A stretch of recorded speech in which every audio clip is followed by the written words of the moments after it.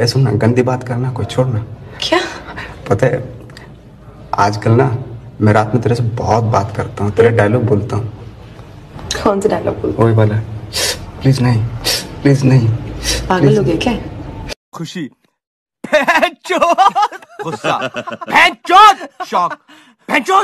Surprise who हवस। हमको हर औरत जाते हुए अच्छा लगता है, आते हुए नहीं।